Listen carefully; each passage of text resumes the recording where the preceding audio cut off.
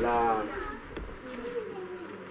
la, présence de Dieu transforme et agisse au milieu de l'Église, il, faut vraiment que le cœur soit bien disposé.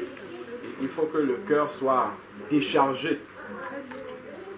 Et si on vient, on fait simplement les choses comme ça par conformisme parce qu'on est déjà réunis et qu'il faut absolument prier, le Seigneur ne va pas agir. On aura perdu du temps. Parce que ce sont des versets qu'on connaît, mais il faut pouvoir les appliquer aussi. Si on n'applique pas ces versets-là, c'est une perte de temps.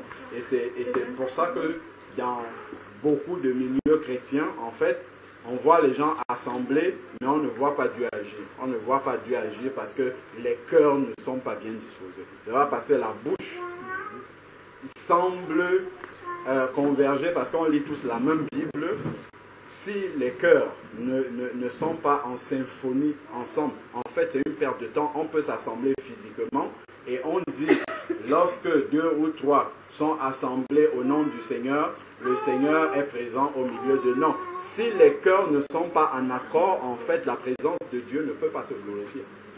Et il faut, c'est le verset que j'avais cité au début, lisons-le un peu avant, avant d'aller dans Matthieu, acte chapitre 1. Acte chapitre 1.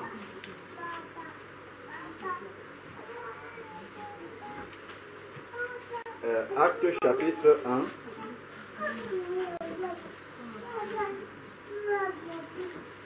Ça, c'est après l'ascension de Jésus, du verset 13 au verset 14.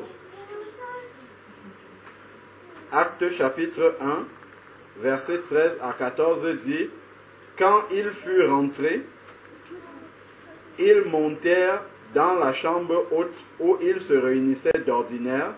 C'était Pierre, Jean, Jacques et André, Philippe et Thomas, Barthélemy, Matthieu, Jacques, fils d'Alphée, Simon le Zélote et Jude, fils de Jacques. Et c'est écrit dans le verset 14, tous d'un commun accord persévéraient dans la prière. Donc ça, c'est un prérequis en fait de la prière. C'est que tous soient vraiment d'un commun accord. C'est-à-dire que les, les, les cœurs n'aient pas des sentiments différents les uns pour les autres. Que les cœurs ensemble recherchent la même chose. C'est-à-dire que même si on ne s'entend pas encore sur quelque chose, mais que nos cœurs aspirent ensemble à pouvoir s'entendre pour avancer mais, mais, mais pas que un cœur reste dans son coin et dit moi j'ai raison. Et, ça, même si on est physiquement ensemble pour prier, ça ne porte pas des fruits. En fait, ça sera du temps perdu. Donc ici, il est dit d'un commun accord, persévérer dans la prière. Et ensuite, il y avait Marie, les frères de Jésus. Il y a un autre chapitre également qui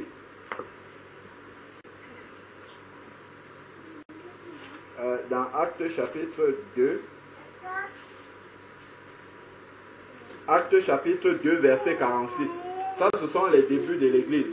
Et souvent, quand nous restons, nous regardons, nous lisons avec beaucoup d'admiration l'Église primitive sur les miracles que Dieu opérait et on dit Dieu est toujours le même hier, aujourd'hui, éternellement, il n'a pas changé. Tout ça c'est vrai. Mais après, il faut étudier dans le détail la manière dont l'Église primitive vivait pour que Dieu fasse ça.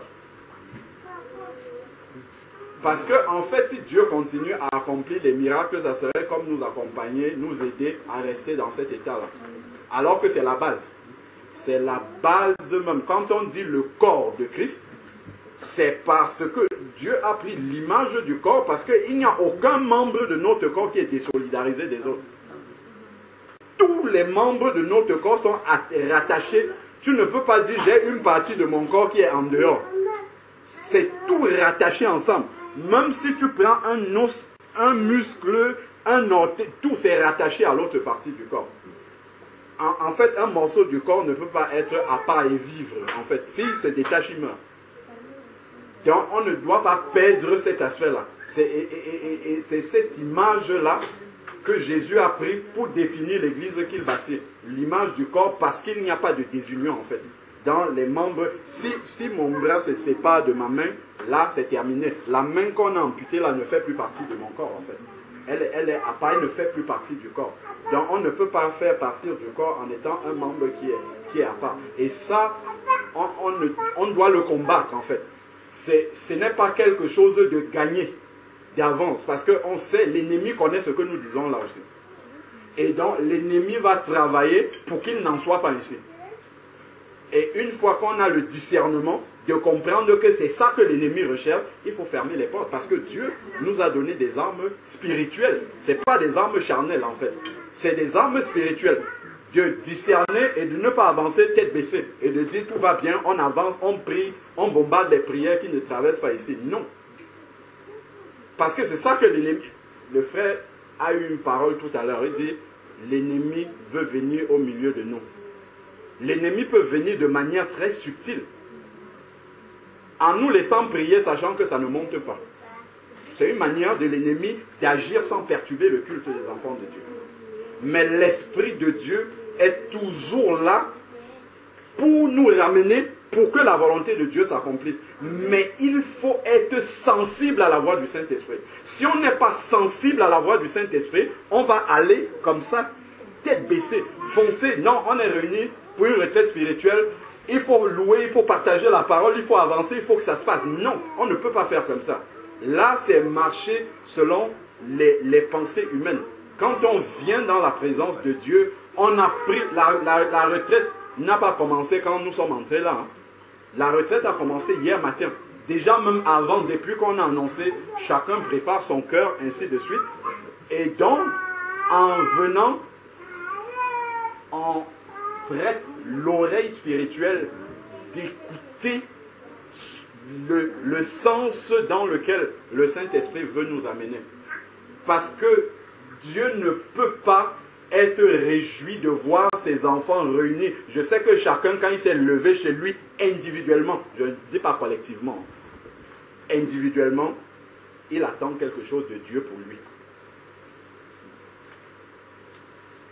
C'est sûr et certain. Après, si on demande, est-ce que tout le monde attend que, que Dieu fasse quelque chose pour l'Église? Ça, c'est différent. Chacun peut dire sincèrement s'il attend que Dieu fasse quelque chose pour l'Église. Mais ce qui est sûr, c'est que chacun qui est ici attend que Dieu fasse quelque chose pour lui. Ça, c'est certain. Parce que c'est naturel. Quand on vient dans la présence de Dieu, on sait qu'il est Dieu et nous attendons quelque chose que que Dieu fasse quelque chose pour nous. Ça peut être pas forcément matériel. Ça peut être spirituel. Ça peut, on a besoin que Dieu fasse bouger quelque chose en nous. Donc, il ne faudrait pas perdre justement cette sensibilité-là de l'esprit et laisser Même si Dieu transforme la retraite spirituelle en autre chose, c'est lui qui est le maître. S'il nous a réunis ici pour parler, on va déposer les Bibles et puis on va parler. Après, s'il veut qu'on continue, on va continuer. S'il veut qu'on s'arrête là et qu'on mange, on va s'arrêter là et puis on va manger et on va partir. C'est vraiment comme ça qu'il faut marcher toujours à l'écoute Saint-Esprit. Seigneur, on a eu à cœur de mettre un temps à part pour toi. Viens, parle-nous. On commence, le Seigneur donne une direction, suivons-la. Quel que soit ce qui va arriver.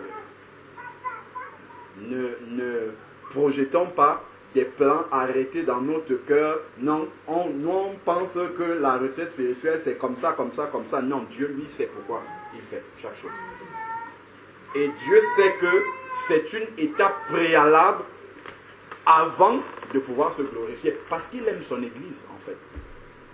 Parce qu'il veut que son Église soit une lumière pour ceux qui sont dans les ténèbres. Donc ici, dans Acte, on disait Acte chapitre 4, verset. Ah, non, non, acte 2, pardon, excusez-moi. C'était acte 2 que j'avais dit. Et voilà, et on, on verset 46, on, parlait de la manière dont l'église primitive vivait. Donc là, 3000 personnes viennent de se convertir. Et tout de suite ici, à partir du verset 44, il est dit, tous ceux qui avaient cru étaient ensemble. Regardez tout de suite ce que le Saint-Esprit fait. Je vais remonter un peu plus haut. Remontons un peu plus haut au verset 37. Cela va nous permettre de voir en fait de manière progressive comment le Seigneur a commencé à bâtir son Église. Parce qu'il a dit dans Matthieu chapitre 16, verset 18, je bâtirai mon Église et les portes de l'enfer ne prévaudront pas sur elle. Comment est-ce que le Seigneur a commencé à bâtir son Église? Il a envoyé, comme il a promis dans Acte chapitre 1, verset 4, il a dit, ne vous éloignez pas de Jérusalem. Verset 8, j'enverrai une puissance sur vous, le Saint-Esprit, et vous serez mes témoins. Il a commencé par là. Et tout de suite, le Saint-Esprit a poussé les apôtres, comme on voit à partir du verset 14, l'apôtre Pierre a prêché la parole. Pour que d'autres personnes, à part les 120, viennent dans l'église. C'est ça le but du Seigneur. C'est de sauver. C'est écrit dans Timothée. Hein. Le Seigneur, allons dans Timothée, excusez-moi, ça vient dans tous les sens. On va d'abord faire comme ça jusqu'à revenir au verset que j'avais cité. Dans Timothée, 1 Timothée chapitre 2. Regardons 1 Timothée chapitre 2, verset 1. 1 Timothée chapitre 2, verset 1.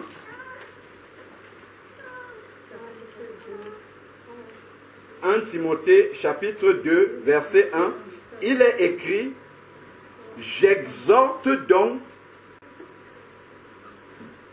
j'exhorte donc en tout premier lieu à faire des requêtes des prières. C'est en tout premier lieu dans l'Église, le Seigneur nous, nous, interpelle à pouvoir prier, intercéder. Le but de la prière, comme nous voyons dans Matthieu 6, un des buts de la prière principale, si ce n'est le but même euh, euh, euh, fondamental de la prière, c'est que la volonté de Dieu soit faite sur la terre comme elle est au ciel.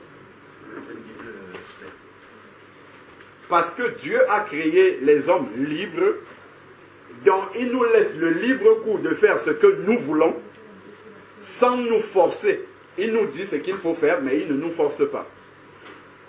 Par contre, pour que Dieu puisse intervenir dans les affaires des hommes, il faut que nous lui donnons, en fait la prière c'est comme lui donner l'autorisation. Il peut le faire sans nous demander notre avis, mais il a décidé de ne pas le faire, de nous laisser notre volonté de lui demander de venir le faire.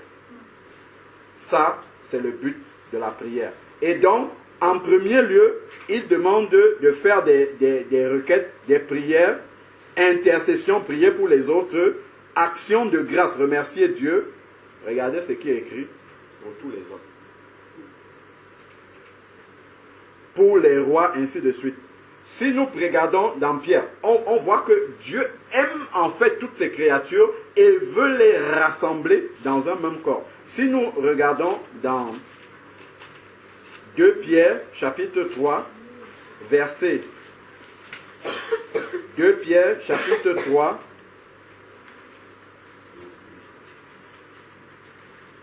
verset 9 2 Pierre, chapitre 3, verset 9. Il est écrit, 2 Pierre, chapitre 3, verset 9, Le Seigneur ne tarde pas dans l'accomplissement de sa promesse. On parle du retour du Seigneur. Comme quelques-uns le pensent. 2 Pierre, chapitre 3, verset 9. Comme quelques-uns le pensent il use de patience envers nous. 2 Pierre, chapitre 3, verset 9.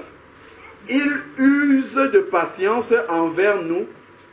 Il ne veut pas qu'aucun périsse.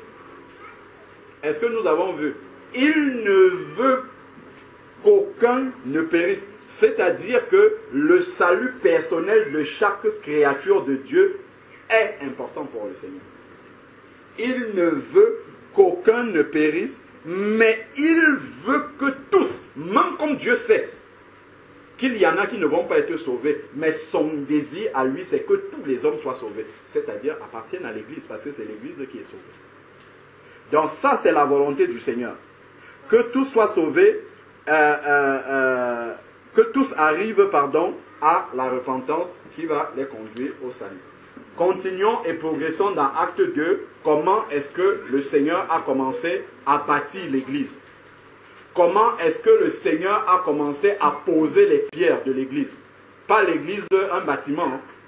Le Seigneur a dit que nous sommes une maison spirituelle. Donc, chacun d'entre nous est une pierre vivante de cette maison spirituelle-là. C'est de ça qu'on parle. Donc, ici, comment est-ce que le Seigneur a commencé à poser les pierres? On a dit qu'il a fait descendre la puissance du Saint-Esprit sur son Église. Et ensuite, qu'est-ce qu'il a fait? Regardons, revenons dans Acte chapitre 2 au début, verset 5. Après que le Saint-Esprit soit descendu sur les 120 qui sont montés d'un commun accord, c'est comme ça que l'Église commence. L'Église commence d'un commun accord. Et le Seigneur va continuer à bâtir sur un commun accord. Il ne va pas bâtir sur autre chose. Donc c'est par là que ça a commencé. Regardons bien comment l'Église a commencé. Le Seigneur a donné, au moment de l'ascension, dans Acte 1, on ne va pas lire tout le texte, il a donné une recommandation, ne vous éloignez pas de Jérusalem. Acte 1, verset 4. Acte, 1, verset 8. Car j'enverrai une, une puissance sur vous. Le Seigneur est monté tous maintenant d'un commun accord montent dans la chambre haute. Voilà le début du fondement de l'Église. Ils sont dans l'unité de la prière et on a vu dans Timothée, 1 euh, euh, euh, Timothée chapitre 2, que Dieu veut qu'on prie pour tous les hommes. On a vu dans Pierre qu'il veut que tous les hommes soient sauvés. Donc c'est cette pensée-là qui animait déjà, parce que conduit par le Saint-Esprit dans cette prière, c'est cette pensée que tous les hommes soient sauvés. On va la voir dès le début de l'Église. Donc on ne peut pas mettre de côté des personnes et les empêcher d'entrer dans l'Église. Il faut que nous gardons ça toujours présent à l'esprit. Donc je dois éviter d'éloigner quelqu'un que Jésus a déjà sauvé, qui est déjà dans l'Église, par mon comportement. Que je ne sois pas une pierre d'achoppement pour éloigner quelqu'un que Jésus a déjà sauvé. Si déjà Dieu veut attirer ceux qui sont dehors, qui est très difficile, à plus forte raison, quelqu'un qui est déjà dedans, si nous contribuons à le mettre de côté.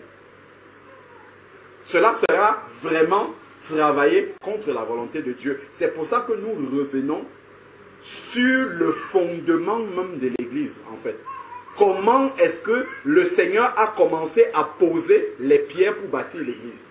Si on loupe ça, en fait, on va partir dans beaucoup de directions en pensant que, bon, voilà, on fait forcément bien. Mais si on loupe ce qui est le fondement, le ciment, la base, la fondation même de l'Église, en fait, on va bâtir sur du sable. Si on ne s'arrête pas de temps en temps pour dire attention, qu'est-ce qu'on fait? Où est-ce qu'on va? Est-ce que nous sommes toujours sur le fondement de... On peut avoir toutes les révélations qu'on veut. Mais ce ne sont pas toutes ces révélations-là qui font qu'on soit dans le plan de Dieu.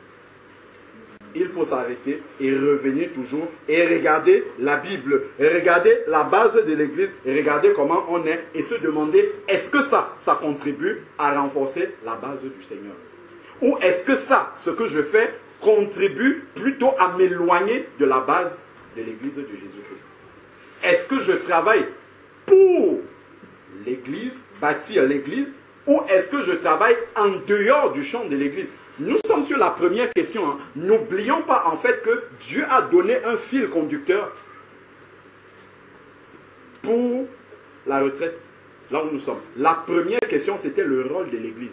Dans la, on n'est pas dans l'improvisation comme ça. C'est Dieu qui sait là où il veut nous envoyer. La première question qui était venue dans le message, c'est quel est le rôle de l'Église dans cette fin des temps? Là, on revient déjà à la base de l'Église qui était au départ.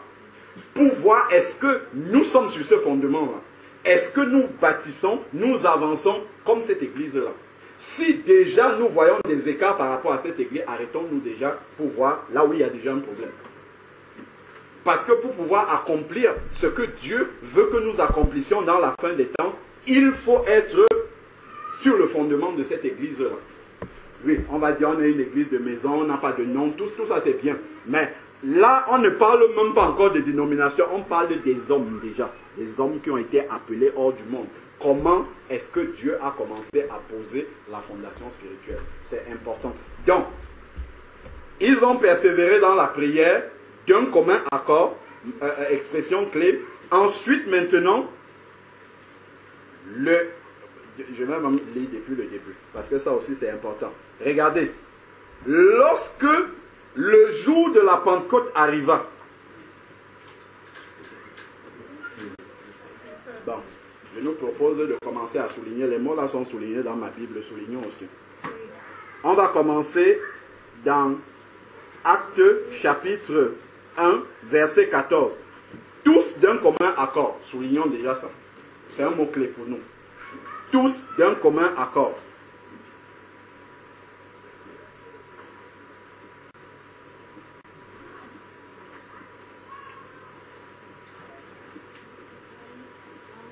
Tous d'un commun accord.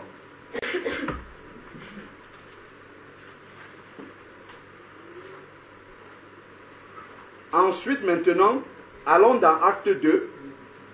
nous continuons sur le fondement de l'église que Jésus bâtit. Comme il a dit dans Matthieu 16, verset 18, je bâtirai mon église.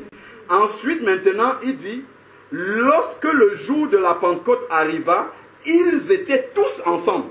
C'est-à-dire que comme ils étaient montés dans la chambre haute, quelqu'un n'est pas sorti de cette chambre-là et dit, moi je vais faire autre chose. Dieu m'appelle à aller faire autre chose ils sont restés là dans la chambre haute. Pour attendre ensemble que Dieu donne la direction.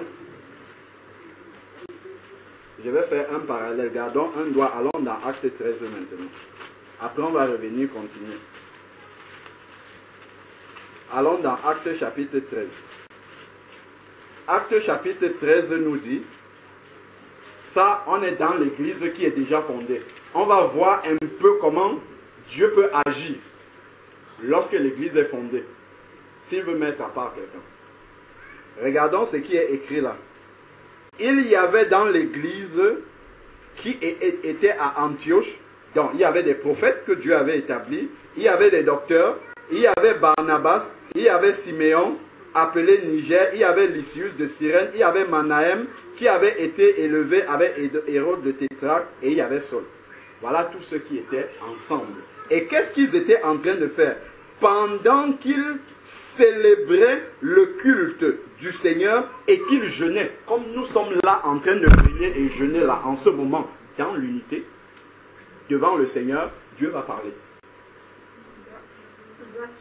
Pendant, pas, pour l'instant, je, dirais, mais, mais, si tu veux souligner quelque chose pour toi personnellement, tu peux souligner, mais les, les, les expressions sur lesquelles je veux éveiller notre conscience, je vais le dire. Mais s'il y a des choses qui te marquent, que tu veux souligner, n'hésite pas à souligner.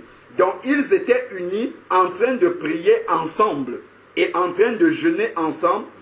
Le Saint-Esprit, regardons, le Saint-Esprit dit, lorsqu'ils sont ensemble dans la prière en unité, on, va revenir sur l'unité, le Saint-Esprit va dire maintenant, mettez-moi à part Paul et Barnabas euh, euh, Barnabas et Saul pour l'œuvre à laquelle je les ai appelés. C'est-à-dire qu'au milieu des frères comme ça, lorsque nous sommes en train de prier, le Saint-Esprit va venir et dire Hervé et, Stéphane, mettez-les à part.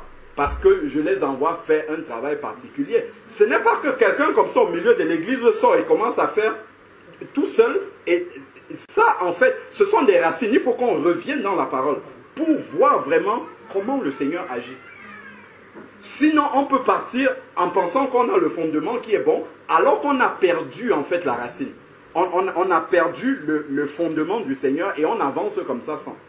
C'est important en fait de revenir, toujours de rechercher cette unité-là. Et on va voir comment est-ce que Paul et Barnabas sont partis. Ils sont partis avec la bénédiction de l'Église. Et la bénédiction de l'Église est appuyé par le Seigneur et permet que le travail qu'ils font dehors, dans l'œuvre que le Seigneur leur a, qu'ils aient l'approbation de Dieu. Qu'ils aient le sceau du Saint-Esprit. D'où nous devons rechercher, malgré les sensibilités des uns et des autres que la chair par ailleurs va alimenter, nous devons rechercher cette unité parce qu'il en va de la puissance et de la gloire de Dieu dans tout ce qu'on va vouloir faire.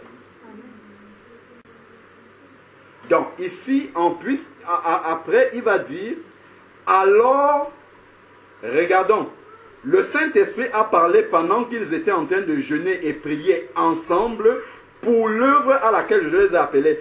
Alors, après avoir jeûné et prié, le Saint-Esprit a dit, ils ont continué à prier et à jeûner pour avoir des précisions par rapport à cette direction-là. Et donc, ensuite, maintenant, alors, après avoir jeûné et prié, il leur imposait les mains. Donc, ils partent avec la bénédiction du Seigneur.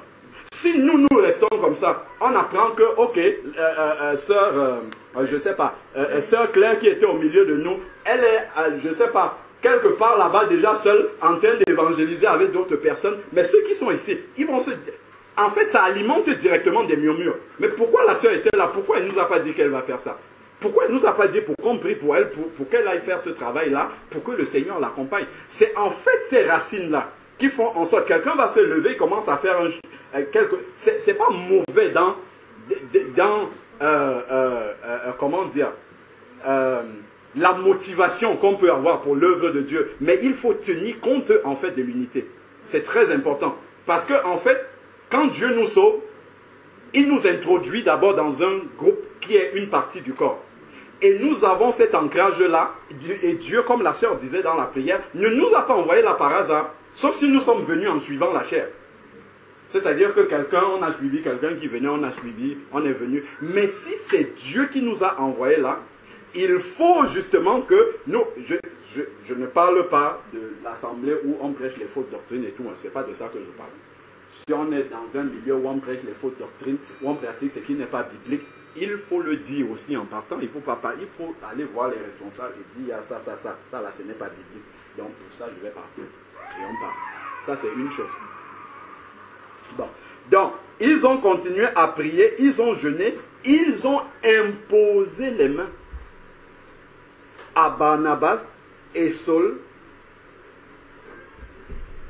et les laissèrent partir. Donc, ils partent comme ça avec l'appui de l'Église.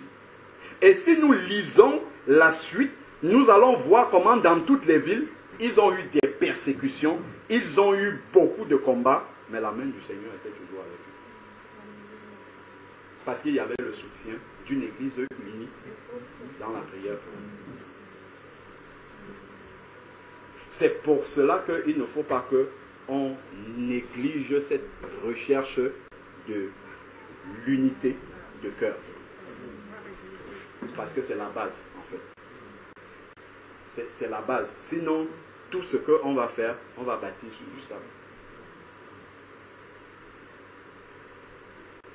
Et ça, c'est le B à bas de l'évangile.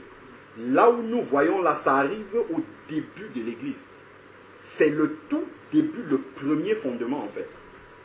Et c'est sur ce fondement que le Seigneur va bâtir en donnant les révélations maintenant. Là, on ne parle pas encore de porter le voile et tout ça. Le voile vient dans Corinthiens, loin là-bas. Les doctrines et tout ça vont venir après, en fait. Quand le fondement même de Jésus-Christ, de l'unité du corps, est posé déjà, là maintenant, les dons spirituels, les prophéties, tout ça, ça va venir se poser là-dessus. Mais si cette base-là n'est pas là, ben, tous les dons et tout, on va mal les utiliser on va l'utiliser pour impressionner les autres, peut-être montrer que moi j'ai plus que toi, et ainsi de suite. Parce que, en fait, la disposition du cœur pour rechercher l'unité n'est pas là. Si j'ai le don de prophétie, à quoi est-ce que ça me sert? C'est pour l'édification de l'Église. C'est ce qui est écrit là, dans la parole. Donc si je dois rechercher, d'ailleurs Paul dit dans 1 Corinthiens euh, chapitre 14, euh, euh, il dit de rechercher plus le don de, de prophétie que le parler en langue. Pourquoi? Parce que c'est pour l'édification commune. Toujours la volonté de Dieu de bâtir sur l'unité, sur ce qui est commun, sur ce qui va dans le bon, le même sens, dans le sens de rassembler et non de diviser, dans le sens de l'unité et non de la séparation. C'est important en fait de ne pas perdre cela de vue.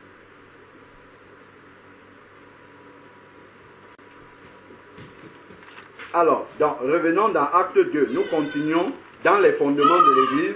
Là maintenant, il fallait souligner dans le verset 1, tous ensemble. Lorsque le jour de la Pentecôte arriva, ils étaient tous ensemble dans un même lieu. Tous ensemble dans un même lieu. Tout à coup, il vint du ciel un bruit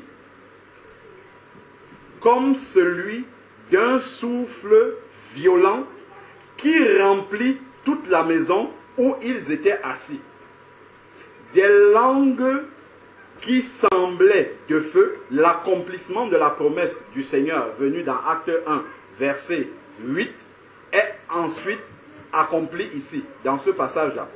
Donc, des langues de feu et qui se séparaient les unes des autres leur apparut. Elles se posaient sur chacun d'eux. Est-ce que vous avez vu ce qui est écrit Soulignons chacun d'eux? Donc, les langues de feu ne sont pas descendues du ciel avec une discrimination. En disant, celui-là n'est pas mon enfant, celui-ci, il m'aime plus. C'est descendu sur eux tous. Pourquoi? Parce que d'un commun accord. Donc, Dieu n'a pas abandonné quelqu'un. Il va venir, toi tu as le don de prophétie, l'autre a, euh, je ne sais pas, la, parole de connaissance, l'autre pour, pour que ça se complète en fait. Donc il n'a lésé personne. Mais pourquoi la puissance du Saint-Esprit ne lèse personne? Parce qu'à la base, en fait, ils sont unis à chercher la même chose unis à attendre justement cette promesse de Dieu. Tous d'un commun accord, lorsque les langues viennent, elles se séparent et descendent sur chacun d'eux. Chacun reçoit la même proportion.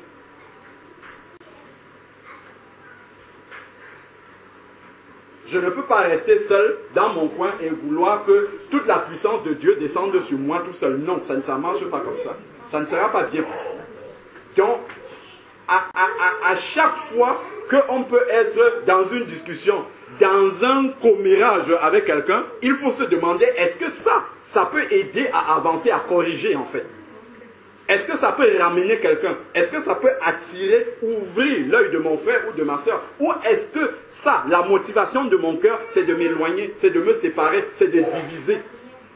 C'est ça que nous devons rechercher au travers de ce que nous lisons là garder toujours présent à l'esprit que quelque, ce qui ne veut pas dire qu'on ne doit fermer les yeux sur ce qui est mauvais qu'on voit notre frère ou notre... Non, on doit le dire, mais dans le sens de le et de ramener, en fait, pour que ce soit toujours uni.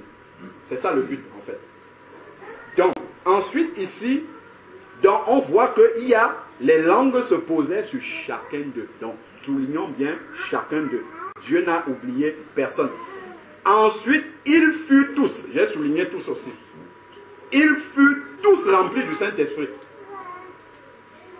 Ce n'est pas comme maintenant on va commencer à prier pour que Dieu envoie le baptême du Saint-Esprit. Ah, moi j'ai parlé en langue, l'autre n'a pas parlé. Non, tous, sans exception. Si on ouvre encore acte 19, vous allez voir que Paul, de 1, de 1 à, à, 7, Paul était sur le chemin d'Éphèse, il rencontre des disciples, il leur demande, avez-vous reçu le Saint-Esprit lorsque vous avez cru? Ils vont dire, on n'a même pas entendu dire qu'il y un Saint-Esprit. Alors il va dire, mais quel baptême avez-vous donc reçu? Ils vont dire qu'ils ont reçu le baptême de Jean. Il va les baptiser au nom de Jésus-Christ. Et après, il va leur imposer les mains. Allons encore là, voilà encore autre chose. Acte chapitre 19, je lis juste la conclusion de ce que je dis là. Je, nous ai déjà situé tout, tout le passage. Si nous voulons, nous pourrons lire tranquillement à la maison, acte 19 du verset 1 au verset 7.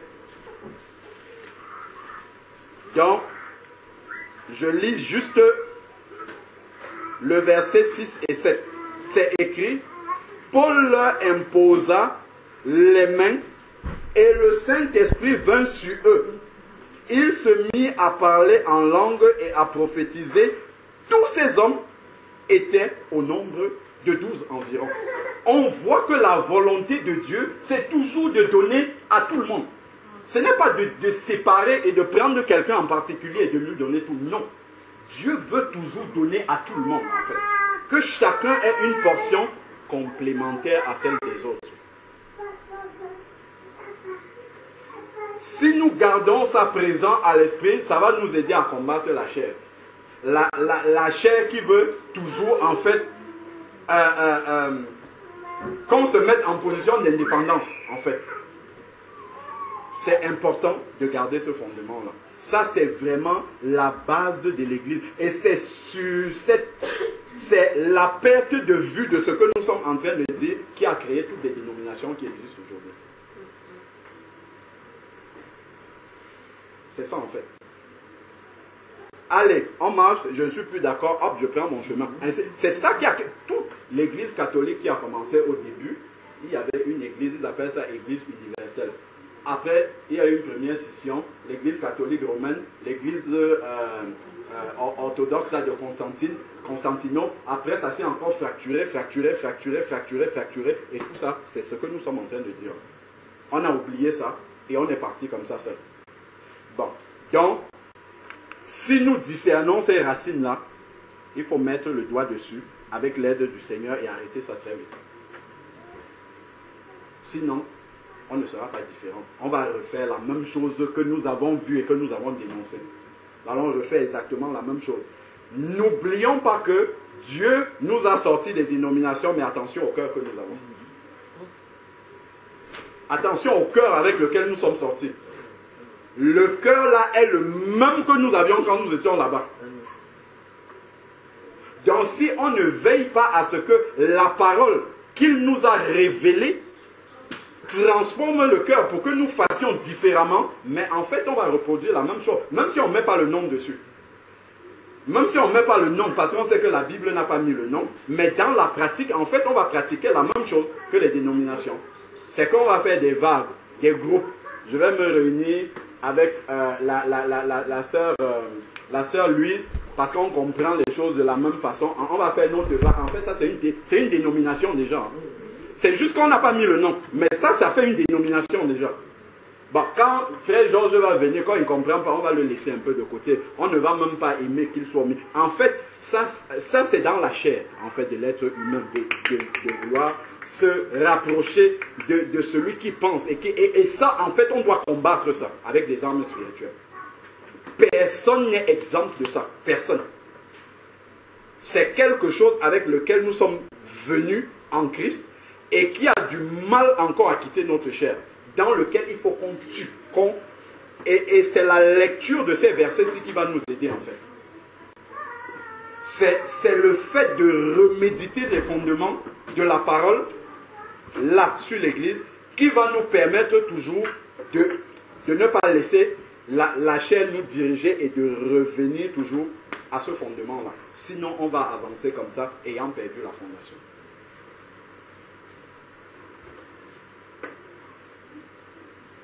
Moi, je préfère prier avec la sœur Ingrid parce qu'avec elle, je me sens bien. C'est pas une question de sentir. Nous sommes nés de nouveau, nous avons le même esprit, en présence.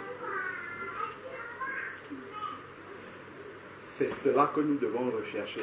Prier pour demander au Seigneur de ne pas laisser des séquelles, des racines dans, dans nos cœurs.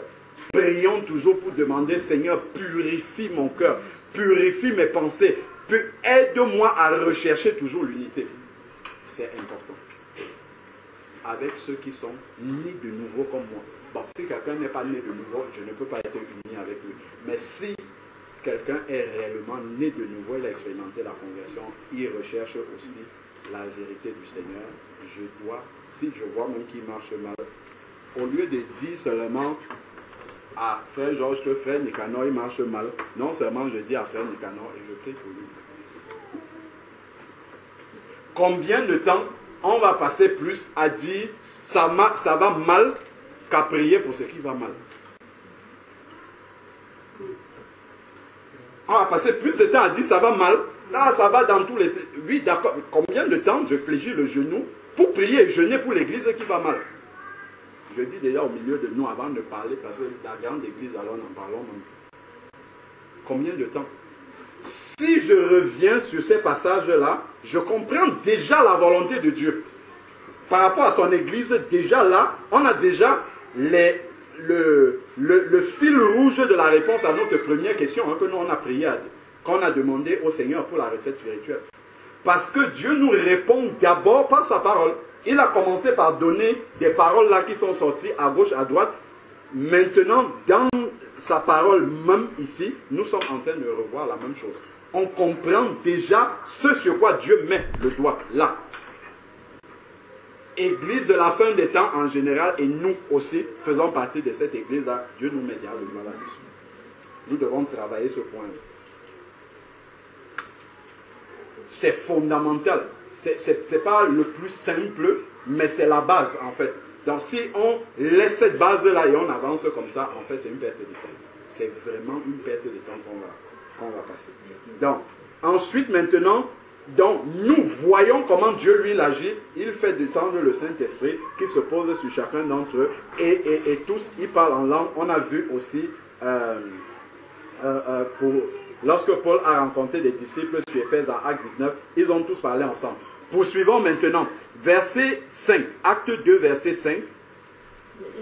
acte 2, verset 5, 8.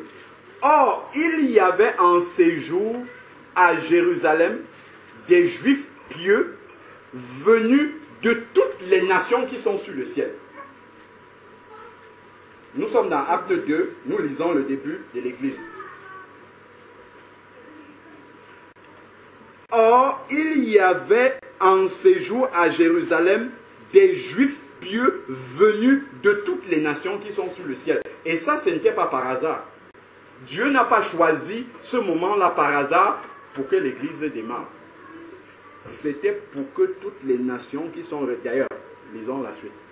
Il dit, verset 6, au bruit qui se, répand, qui se produisit, la multitude accourut et fut bouleversée parce que chacun les entendait parler dans sa propre langue. Parce que Dieu avait en vue, il a dit, vous recevez la puissance du Saint-Esprit et vous serez mes témoins. Et maintenant, il permet que directement, ils soient les témoins de toutes les langues qui sont sous le ciel, donc de toutes les nations, pour que l'Église soit universelle et ne laisse personne en dehors, en fait. Donc, on voit toujours le désir qu'il y a dans le cœur du Père de bâtir une église qui ramène toutes ces créatures. Normalement, c'est ça qu'il veut. Après, ce sont les gens qui vont refuser l'évangile. Mais ça, c'est ce qu'il y a dans le cœur du Père. De ramener toujours en un seul ce qu'il a créé. Donc, c'est pourquoi il a permis que toutes les nations soient là. Donc, ensuite, maintenant, à partir du verset 14, Pierre va prêcher. Continuons maintenant, revenons au verset 37. Acte 2, verset 37, nous sommes en train de scruter les fondements même de l'Église. Donc après avoir entendu cela, ils eurent le cœur vivement touché. Ils ont entendu la prédication de la parole de Dieu et leur cœur furent touchés. Et il dit à Pierre et aux autres apôtres, ça ce sont ceux qui sortent de la chambre tous ensemble, qui viennent au milieu des Juifs de toutes les nations, tous ensemble. Et voilà maintenant comment le Seigneur agit. Ils n'ont pas dit Jésus, euh, euh, viens, venez, vous convertir. Non, c'est eux qui écoutent la parole de Dieu et qui disent, nous, on veut ça. Nous, on réalise notre état de péché, on veut ça. Nous voyons bien le cheminement sur lequel le Seigneur bâtit. Ensuite, il va dire, Bon, Pierre va leur parler, repentez-vous et que chacun de vous soit baptisé au nom de Jésus-Christ et euh, pour le pardon des péchés et vous recevrez le don du Saint-Esprit. Et maintenant, il va dire, car la promesse est pour vous, pour vos enfants, pour tous ceux qui sont au loin, en aussi grand nombre que le Seigneur les appelle. On voit que le Seigneur veut dès la base rassembler un grand nombre dans l'unité de son corps. Gardons un doigt, allons dans 1 Corinthiens 12. Ça a été cité tout à l'heure. 1 Corinthiens chapitre 12.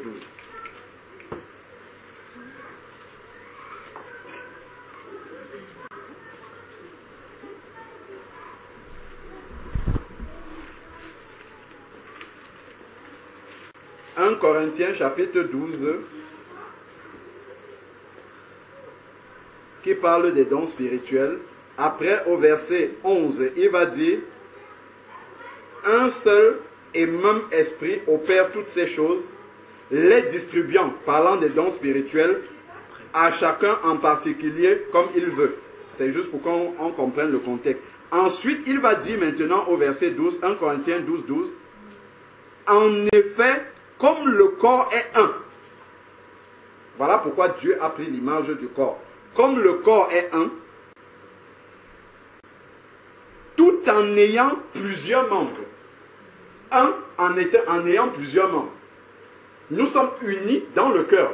plusieurs membres, même si nous pouvons avoir des sensibilités différentes. Il y a plusieurs membres, donc nous sommes différents en fait à la base. Mais Dieu vient pour nous unir, pas pour nous confondre, pour qu'on soit. Chacun va garder sa sensibilité. Il, y aura, même si on est unis, comment? Quand vous, vous lisez les lettres de Pierre et les lettres de Paul, ce n'est pas la même approche. Les lettres de Jean, ce n'est pas la même approche. Il y a un, si vous lisez Jude, Jacques, ils vont taper, l'autre va aller plus. Il va arrondir un peu plus. Donc, chacun garde en fait la sensibilité avec laquelle Dieu l'a appelé dans le service. Et ça, ça ne doit pas se faire. Et ça, on ne doit pas l'oublier en fait. Quand nous marchons dans l'unité, on ne doit pas oublier que chacun a cette sensibilité-là. Et que la sensibilité de l'un, si ce n'est pas qu'il est complètement en dehors de la voie, ne doit pas engloutir totalement. La mienne ne doit pas engloutir totalement celle de mon frère. Il doit garder cette sensibilité-là parce que c'est complémentaire. C'est pour ça qu'il y a Paul, il y a Pierre, il y a Jacques. Chacun présente le même évangile avec une sensibilité différente, avec une cible de cœur différente en fait. Parce que Dieu veut unir en fait tous les hommes. Mais toutes les terres qui sont nos cœurs, les terres dans lesquelles la semence doit arriver de la parole de Dieu, les terres sont différentes. Donc, selon le type de terre qui est en face, qui est un cœur qui doit accueillir la parole de Dieu, Dieu va plus utiliser. Quelqu'un va dire, moi, c'est l'évangile, je ne sais pas, de Paul, lettre de Paul, moi, c'est plutôt euh, euh, euh, un Pierre, toi qui m'a touché. Donc, il y aura pour tous les cœurs, parce qu'il y a des sensibilités qui sont différentes. Frère Hervé peut exhorter une sœur il lui dit deux mots, et tout le fardeau de la sœur est parti. Moi, je peux passer une nuit avec la parole de Dieu, la sœur ne va pas bouger d'un trait. Il faut que je reconnaisse que c'est une grâce que Dieu lui a donnée et que j'ai besoin de cette grâce-là pour qu'on soit complémentaire. Parce que la sœur a besoin d'écouter la parole, donc je vais passer avec la parole, mais ça ne sera pas complet, ça ne sera pas suffisant. Il faudra que frère Hervé vienne compléter avec la sensibilité que lui n'a que moi je n'ai pas avec la patience que lui peut avoir et que je n'ai pas. Donc lui, il ne peut pas vouloir que j'ai la même patience que lui. Parce que Jean-Baptiste n'a pas la même patience que Paul.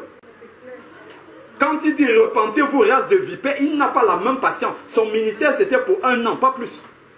Dans les un an là, il fallait qu'il ait dit tout le message à toutes les personnes que Dieu a envoyé vers lui. Il avait ce travail-là à faire. Donc quelqu'un ne va pas venir lui dire, bon écoute Jean-Baptiste, tu exagères, pourquoi tu parles comme ça aux gens, tu parles mal aux gens. C'est comme ça que Dieu lui demandait de parler. Et Jésus dit, rend témoignage de Jean-Baptiste en disant aux gens qu'il n'est pas né du sein de femme plus grand prophète que lui. Qui est-ce que vous êtes allé voir dans le désert? Un roseau qui... Vous avez vu comment il parlait aux gens? Il dit à Hérode qui était on dit qu'il faut respecter les autorités. Il ne t'est pas permis, toi, d'avoir la femme de ton, de ton frère. Il lui disait ça frontalement. Mais à un autre prophète, le prophète va partir, ou un autre apôtre, avec une sensibilité différente. Écoute, Hérode, ça, ce n'est pas bien, ainsi de Mais Jean-Baptiste, lui, lui dit ça comme ça. Ça ne veut pas dire que ce prophète-là et l'autre qui parle avec un peu plus de patience ne sont pas en train de tous les deux faire le travail de Dieu. Et ils ne sont pas opposés, ils sont complémentaires. Et ça, c'est ce qu'on oublie. C'est ça, ça c'est ce qu'on perd de vue en fait. C'est qu'on pense que c'est opposé. Parce qu'en en fait, il, il n'y a pas une recette. Comme nous allons voir le médecin, je lui dis, j'ai les palpitations ici à gauche. Il fait le diagnostic, tu vas prendre Dactarin, tu vas prendre ceci, il me donne, je m'en vais, j'applique. Si la sœur Claire vient, elle est différente de moi, mais si elle a le même mal que moi, il applique exactement le même traitement et ça marchera. Avec la parole de Dieu, ce n'est pas pareil. La sœur Louise vient me voir, j'ai un problème de couple, ça, ça, ça, ça, ça, ça ne va pas. Sœur euh, Florence vient me voir, j'ai un problème de couple, ça, ça, ça, ça ne va pas. Les deux ont le même problème, mais je ne peux pas résoudre ça de la même façon. Ce n'est pas forcément la même solution que Dieu va donner. Parce que le cœur de Louise et le cœur Florence ne sont pas disposés de la même façon.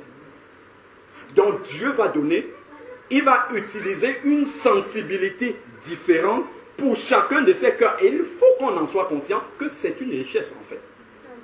Cette sensibilité-là, qui ne doit pas s'opposer et se combattre et amener à la, séparation, à la destruction. C'est important en fait qu'on ne perde pas cela de vue.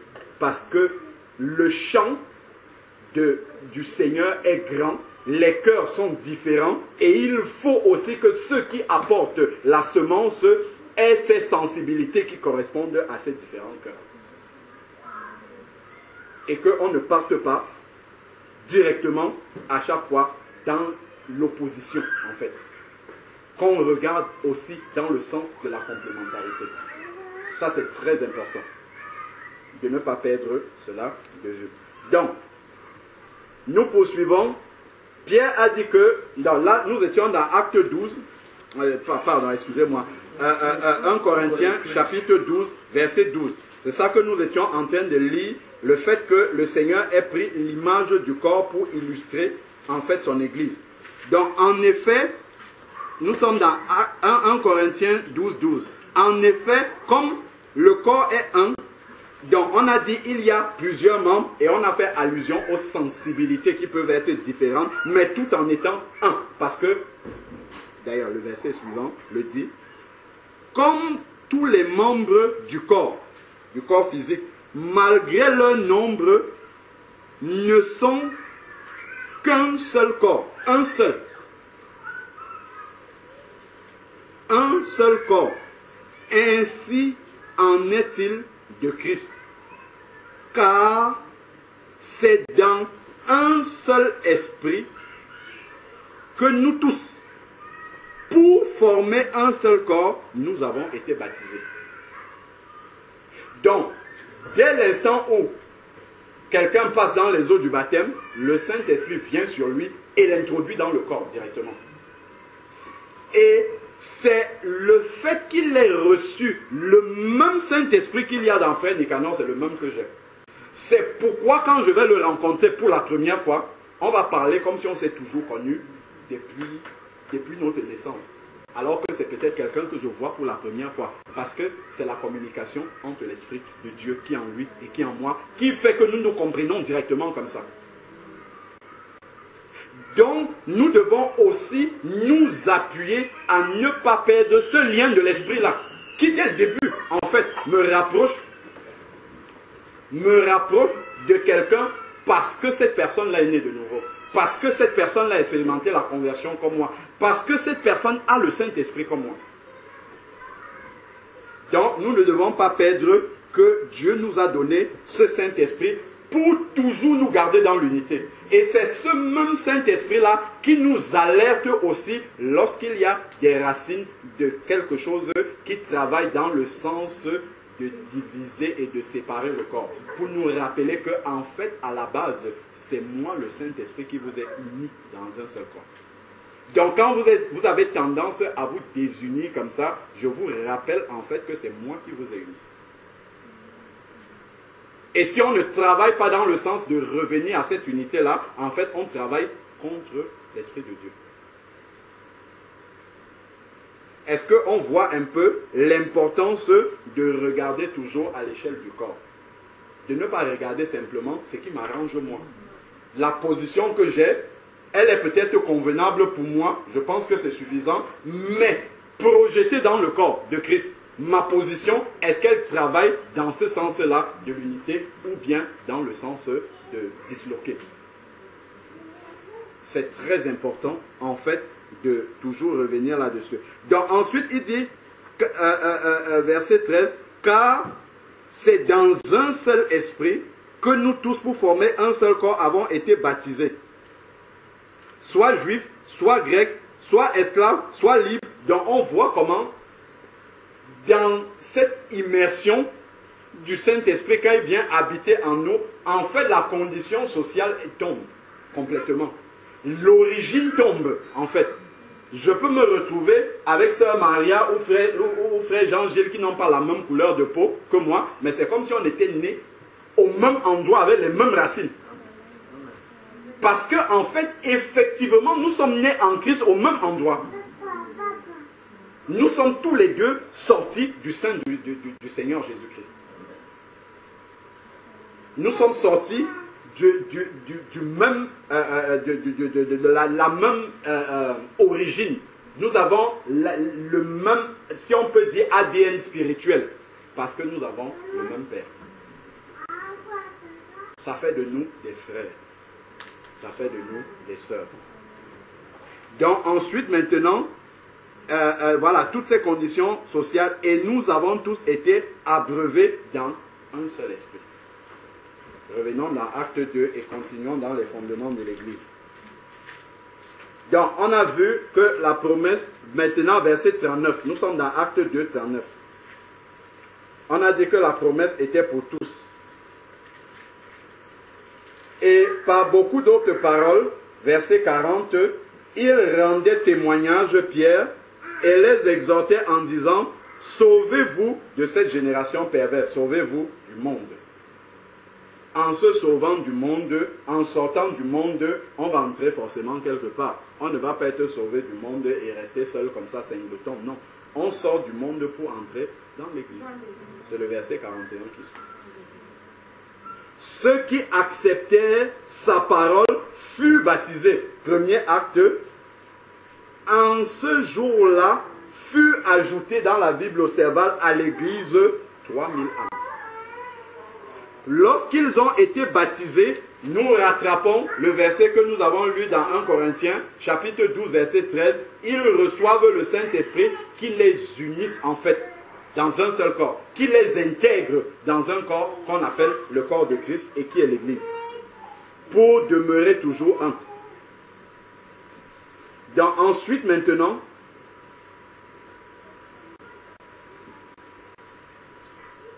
Maintenant qu'ils sont un seul corps spirituel qui constitue l'Église, nous sommes en train de voir en fait comment le Seigneur bâtit hein, l'Église, le fondement. Maintenant que le Seigneur les a rassemblés, ils sont tous venus, ils constituent l'Église qui est un corps. La toute première chose que le Seigneur fait, qu'est-ce qu'il fait? Regardez le verset 42, c'est chronologique en fait ils suivent la parole, le cœur est touché, ils demandent qu'est-ce qu'on doit faire. Pierre dit ce qu'ils doivent faire, tout de suite ils obéissent et le Seigneur agit, il les rassemble dans un corps. Voilà l'église qui est en train de commencer à partir du fondement de tous d'un commun accord de la chambre haute. Maintenant, ils prêchent avec, à, à d'autres personnes. Ces personnes-là se baptisent. On va voir que sur ce fondement d'un commun accord, Dieu va continuer à bâtir son église. Ensuite, maintenant, il est dit ici, verset 42, tout de suite quand l'église commence, c'est écrit quoi? Il persévérait dans l'enseignement. Dans le mot persévérer, il y a la notion de s'accrocher en fait. Il y a la notion de combat. C'est pour ça que Jésus, à la fin, il dit à celui qui vaincra, ainsi de suite, parce que ce n'est pas quelque chose de donné, de naturel, de simple comme ça. Et il y a des jours où on n'a pas envie d'entendre un enseignement, où on entend, ça nous dérange, ça nous embête. Ça fait même du frère qui est en train de prêcher cet enseignement un ennemi. C'est ce que la chair veut me dire. Que ce qu'il enseigne là, non, il ne faut pas que je reçoive ça. Je commence, ça produit dans mon cœur un sentiment d'animosité et de rejet vis-à-vis -vis de mon frère? Parce qu'un enseignement est venu, mais c'est dit, il persévérait. C'est-à-dire, malgré ce sens-là, si ce n'est pas que le frère est en train d'enseigner des choses erronées, je dois m'accrocher, persévérer, continuer à demeurer dans l'enseignement. En priant pour ce que je vois qui n'est pas, n'est pas correct. Je ne parle pas de fausse doctrine, je dis bien. Ensuite, maintenant, il persévérait dans la communion fraternelle. Ça vient en deuxième, hein. juste derrière l'enseignement, il y a la communion fraternelle. Et on nous parle de persévérer dans la communion fraternelle. Persévérer, je rappelle encore, ça veut dire qu'il y a des embûches, il y a des combats, il y a des choses qui vont nous empêcher de pouvoir le faire de manière simple, habituelle, commune comme ça. Ça va être le climat, un coup il va neiger, il va pleuvoir, bon, la distance c'est loin, je vais trop travailler dans la semaine. Il y aura toutes sortes d'excuses qui va venir rendre le chemin étroit? Sinon, le Seigneur ne va pas dire le chemin est étroit. Ça, ça vient se rajouter au combat avec le diable, l'ennemi et tout le reste là. Même la communion fraternelle, c'est un combat dans lequel nous devons réaliser que c'est un combat dans lequel nous devons avoir la victoire. Parce qu'ils ont été sauvés pour former un corps. Ce n'est pas pour que chacun aille étudier la Bible chez lui, en fait. C'est pour être unis ensemble à rechercher justement la volonté du Seigneur dans les Écritures et persévérer. S'accrocher. Il persévérait dans la communion fraternelle. Donc il surmontait les combats qui venaient, qui avaient tendance à s'opposer à ce qu'ils soient toujours réunis pour chercher la face de Dieu. Gardons un doigt, allons dans Hébreu, chapitre 10, verset 25. Hébreu chapitre 10, verset 25. Sachons que la communion fraternelle, ce n'est pas une option en fait. Pour un enfant de Dieu, ce n'est pas une option. Ça fait partie des quatre piliers de la marche d'un disciple du Seigneur. le verset 42 que nous sommes en train de lire dans Acte 2, c'est ça la volonté de Dieu. Il n'y a pas deux volontés de Dieu. Quelqu'un, s'il se lève, il me dit, Dieu me dit qu'il ne faut pas que je sois dans la communion fraternelle, je lui dirais, mon frère, ma soeur, moi je lis autre chose dans la Bible. Le fondement de l'Église, c'est que lorsque Dieu a, amené des personnes à la conversion, tout de suite il les a rassemblés et leur demande de persévérer dans la communion fraternelle. Donc aujourd'hui, Dieu ne peut pas avoir changé et amène les gens à marcher d'une manière différente de celle-là. Après, il peut y avoir des gens qui sont seuls pas par leur propre volonté, parce qu'à côté d'eux, il n'y a pas des chrétiens, il n'y a pas des, enfants de Dieu qui sont vraiment là. Ça, c'est d'autres cas. Mais volontairement, comme ça, on ne peut pas se retirer de la communion fraternelle. Parce que si c'est Dieu qui nous a amenés dans la communion fraternelle, c'est lui qui doit nous en sortir. Et on a vu bibliquement comment Dieu peut amener quelqu'un à être en retrait de la communion fraternelle.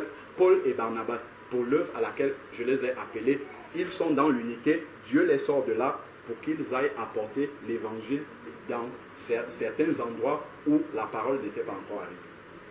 C'est de cette manière-là que ça se passe en fait. Sinon, Dieu lui-même, tout en voulant l'unité, si c'est lui qui, fait que individuellement, comme ça, chacun fasse ce qu'il veut tout en étant disant que nous sommes le corps, en fait, Dieu serait en train de détruire lui-même l'unité qu'il crée au travers de son esprit. Et ça, ça n'a pas de sens. Ça, ça, ça, pas, on ne peut pas appuyer ça bibliquement. Parce que ça s'oppose au fondement que nous sommes en train de lire. Donc prenons Hébreu 10. Hébreu 10. Hébreu chapitre 10, verset 25. Nous savons bien que ce verset-là est souvent tordu, beaucoup, dans beaucoup de milieux, mais par la grâce de Dieu, nous allons le lire et le comprendre comme le Seigneur veut que nous comprenions. C'est écrit, n'abandonnons pas notre assemblée. Bon, les uns vont dire que non, il faut rester dans notre église. C'est comme non, c'est écrit, n'abandonnons pas notre assemblée. En fait, ça veut dire, n'abandonnons pas le fait de nous réunir dans la communion fraternelle. C'est ça que ça veut dire. Maintenant, le Seigneur nous met en garde sur quelque chose. Ça, ça revient encore à la question, Seigneur, nous sommes dans l'église de la fin des temps, quel est le rôle que nous devons? Voilà encore un point sur lequel le Seigneur attire notre attention. Regardons la suite du verset. N'abandonnons pas le fait de nous assembler, comme c'est la coutume pour quelques-uns. Déjà depuis l'époque de Paul, c'était une coutume. Quelqu'un peut être absent une fois parce qu'il a voyagé ainsi, mais quand ça devient une habitude, une coutume, il dit que c'est la coutume de certains.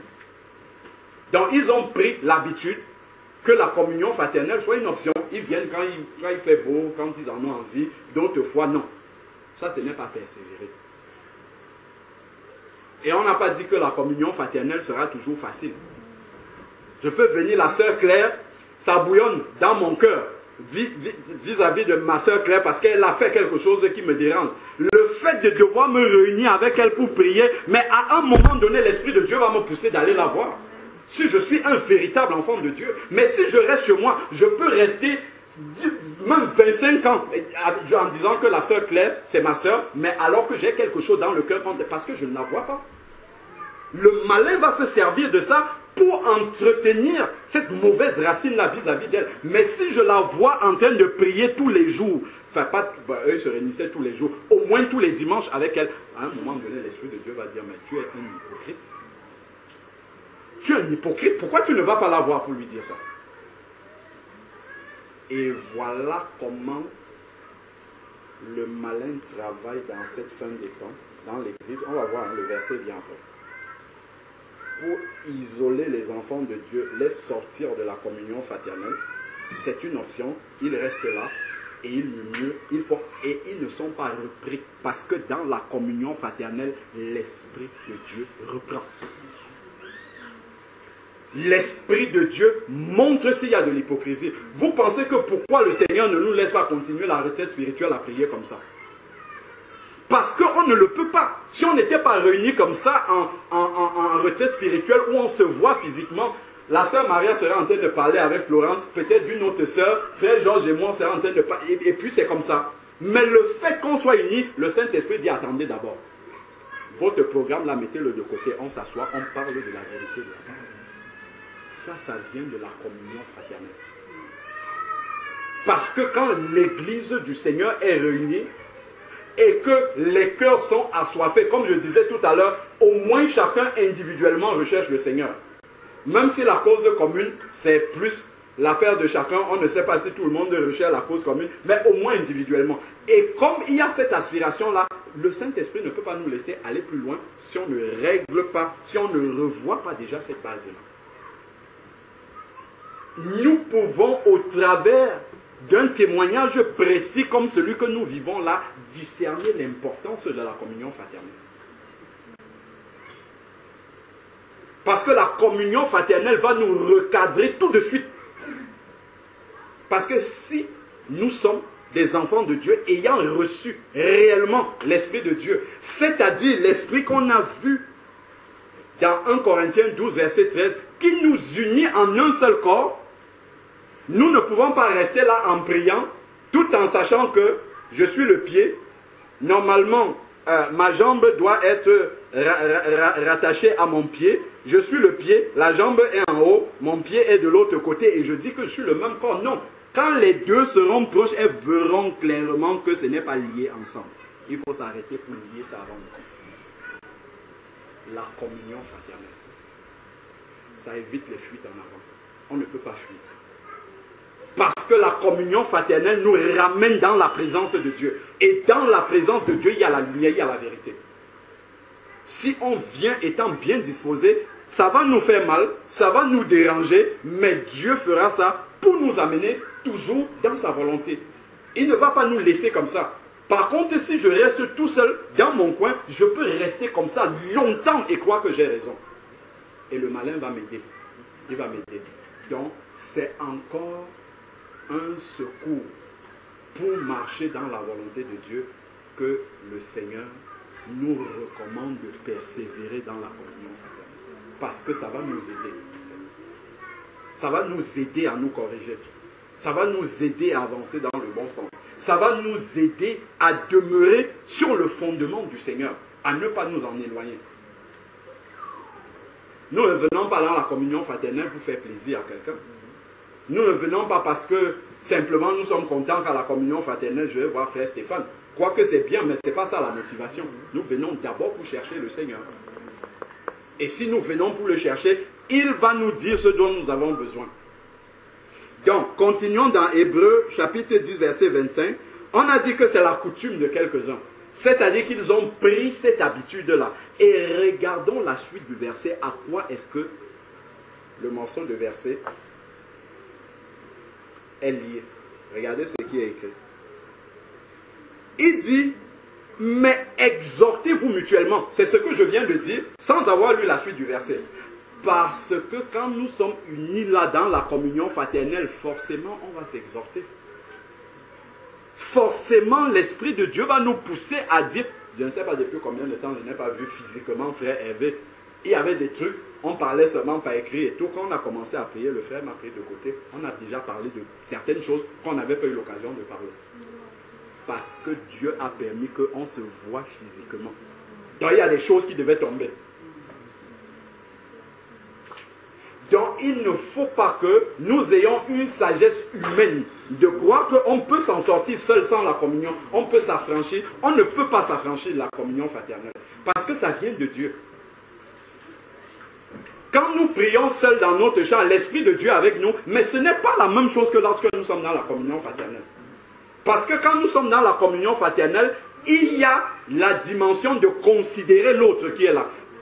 Normalement, la parole de Dieu nous dit, dans Éphésiens, dans, dans Philippiens chapitre 2, verset 5, je crois, au lieu que chacun considère ses propres intérêts, considérez aussi ceux des autres.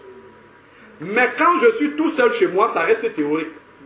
Je sais que Dieu demande ça. Mais pour l'instant, je ne suis pas obligé de l'appliquer parce que je n'ai pas un vis-à-vis devant moi. Bon, à part peut-être ma femme qui est là, qui est convertie aussi, à qui il faut appliquer ce verset-là.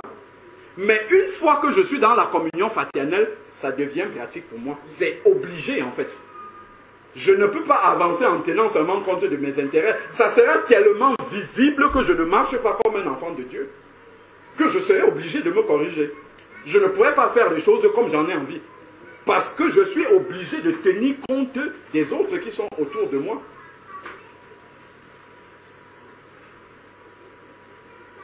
Donc, c'est important de prendre garde à la sagesse de Dieu parce qu'il ne nous recommande pas de faire des choses juste comme ça pour le plaisir. Parce que, bon, oui, il faut qu'un enfant de Dieu prie, il faut qu'il fasse ça, il faut... Non, c'est parce que cela a un rôle précis dans notre marche avec le Seigneur. Sans compter le fait si je suis déchargé spirituellement, quand je vais arriver dans la communion, je peux rester chez moi, je ne lis même plus ma Bible. Je ne, voilà. Le Saint-Esprit me parle, je n'écoute même plus. Mais quand je serai dans la communion fraternelle, quand elle va se lever, le frère Jean va se lever. Quand je méditais cette semaine, Dieu m'a révélé ça. La sœur, l'autre va se lever. Ah, Dieu nous exhorte à faire ce. Tout de suite, je suis devant le miroir du Seigneur. Je dis, ah, eux aussi sont membres du corps de Christ. Qu'est-ce que moi j'ai reçu de Dieu? Rien du tout. Ça me renvoie au fait que ma communion personnelle avec Dieu n'est pas au bout fixe. Parce que j'écoute et je vois les autres. Mais si je suis seul dans mon coin, je peux rester comme ça des années. Je vais m'endormir spirituellement en me contentant de peu. Si je ne suis pas rigoureux, et la communion fraternelle va aider à rester toujours éveillé spirituellement. À rester toujours euh, euh, euh, éveillé et non endormi. Donc il dit, exhortez-vous mutuellement. On peut mieux s'exhorter quand on se voit, donc on voit les choses qui ne vont pas, on peut dire. Si on a la possibilité de se voir, excusez-moi de le dire, beaucoup des problèmes dont on parle là est lié au fait que nous ayons une communion virtuelle. C'est la vérité. Le fait d'avoir une communion virtuelle contribue à beaucoup de racines de ce que nous vivons là. Si la communion était physique, je nous assure qu'on ne serait pas allé si loin.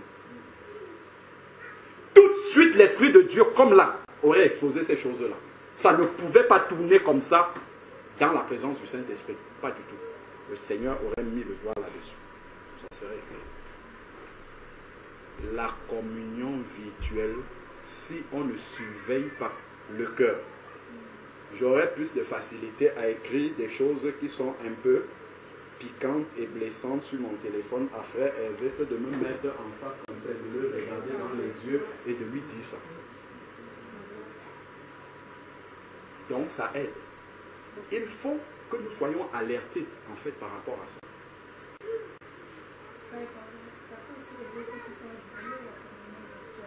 Je ne dis pas qu'il faut l'éliminer. Je dis juste que il faut prendre conscience des dérives pour ne pas tomber dedans. Je ne dis pas qu'il faut supprimer. Ceux qui peuvent se voir, c'est là où est le problème, en fait. Ceux qui peuvent se voir vont tomber dans la paresse de dire, bon, de toute façon, l'enseignement qu'ils sont en train de faire là, je ne vais pas la retraite spirituelle, ils vont tout publier. En plus, ils vont même filmer. On n'a pas filmé. Ceux qui ne sont pas là, ils vont payer, ils n'auront pas les images, ils auront peut-être le son, ils n'auront pas les images. Dit, non, non, c'est pas la peine de se déplacer jusqu'à Lyon. De toute façon, je verrai ça sur Internet. Ça, c'est la paresse. On dit, il persévérait dans la communion fraternelle. Tu vas te déplacer, le frère, il, a pris un billet de TGV, ça lui coûte de l'argent, ça fait mal à son porte-monnaie. C'est un sacrifice qu'il fait. Ça, ça veut dire persévérer. C'est un acte qui montre qu'il veut persévérer. Donc, quand on parle de persévérer, ça veut dire qu'il y a un coût derrière. Ce n'est pas forcément un coût financier, hein, mais il y a un coût, il y a un prix à payer dans tous les cas. Ça peut être le prix de sa personne, ça peut être le prix de la distance, braver le temps, braver les comportements parce que tous les caractères ne sont pas encore. Je ne pars pas d'une église parce que quelqu'un m'a boudé, pas du tout. Ça, c'est la chair, ça, complètement. Je n'étais pas venu non plus dans l'église parce que frère Georges m'a souri. Ça veut dire que le jour il ne va pas me sourire, il va partir. Ça, ce sont des fondements charnels, en fait. Quand on va lire là dans la suite, c'est écrit que le Saint-Esprit lui-même, le Seigneur, a ajouté à l'Église ceux qui étaient sauvés. Il faut que si je, me, retrouve dans un groupe, que ça, ça, euh, soit le résultat du fait que j'ai fléchi les genoux. Dieu m'a dit d'aller là-bas. Alors je serai à ma place et je serai utile pour le travail qui se fait là-bas et mes yeux seront alertes sur ce qu'il faut redresser pour que ça aille dans le sens du Seigneur. Mais si je suis venu juste comme ça, ce que j'ai vu, oh, on a bien prêché, ok, peut-être, essayons toujours, on sera constamment des touristes spirituels. On passe ici, ah, ça ne va pas. Je vais dans l'autre groupe, ah, et à tel, pense comme ça. Ah, là-bas, ah, ainsi de suite, on passera le temps à tourner comme ça tourner. Ok, ça ne va pas. Qu'est-ce que toi tu as fait pour corriger? Quel est l'exemple que toi tu as montré pour qu'on puisse te suivre alors toi qui es le modèle? Ben rien du tout. Je critique seulement. Ah ça, ça ne va pas. Il y a un frère qui disait dans une prédication, le frère Zakorzian, qu'il y a trois catégories de chrétiens dans l'église. Les premiers, c'est ceux qui ne font rien. Donc, ils sont là, ils attendent tout et ils suivent. Les deuxièmes, c'est ceux qui critiquent tout ce qu'on fait. Eux, ils ne font rien du tout, mais ils critiquent tout ce qu'on fait. Ce n'est jamais bien. Ça, tu as mal fait. Ils critiquent. Et les troisièmes, c'est ceux qui font malgré la critique. On critique, mais il fait quand même. Dieu peut corriger ce qu'on fait mal. Mais si on ne fait rien du tout, il n'y a rien à corriger de toute façon. Donc il faut qu'on soit attentif par rapport à ça et ne pas travailler dans le sens qui ne qui n'avance pas en fait le, fondement même du Seigneur. C'est important. Regardons communion virtuelle que nous avons dit là. Nous avons identifié quelque chose. C'est ça, ce n'est jamais venu dans ma tête. C'est là que le Saint-Esprit met le doigt là-dessus. Faisons attention. Continuons pour soutenir nos frères et sœurs qui sont isolés, qui sont tout seuls. Ça, c'est aussi leur témoigner de l'amour. Mais ça ne doit pas remplacer la communion physique pour ceux qui en ont l'occasion. Ça ne doit absolument pas remplacer du tout, du tout. Je dois mettre, ça doit être dans ma tête comme si ça n'existait pas en fait. La communion virtuelle. On ne peut pas avoir dit depuis un mois, je ne sais pas, je dis même un mois, je ne sais pas combien de mois, on a dit qu'il y a la retraite spirituelle c'est difficile pour tout le monde, on a tous des emplois du temps compliqués. Si ça me tient à cœur, je me décide à venir. Si, à moins que je sois au Cameroun ou à Pépette des Oies là-bas, que je ne peux pas venir, je me décide à venir si ça me tient à cœur. Je ne m'assois pas chez moi, je demande, frère Stéphane, tu vas, nous connecter sur dit non, je ne fais pas ça. C'est ça, persévérer dans. Persévérer, c'est on se donne du mal pour, pour pouvoir euh, euh, euh, respecter ce que le Seigneur nous dit. On doit persévérer. Et ça, il ne faudrait pas qu'on le perde de vue. Donc si on ne rappelle pas ça régulièrement, en fait, on va s'endormir dans un sommeil et on va voir ce que ça va produire. Ça va produire des racines et des racines et des racines et des racines et des racines. Quelqu'un va rester, il va pas parler. Il ne me voit pas. Il ne voit pas son frère.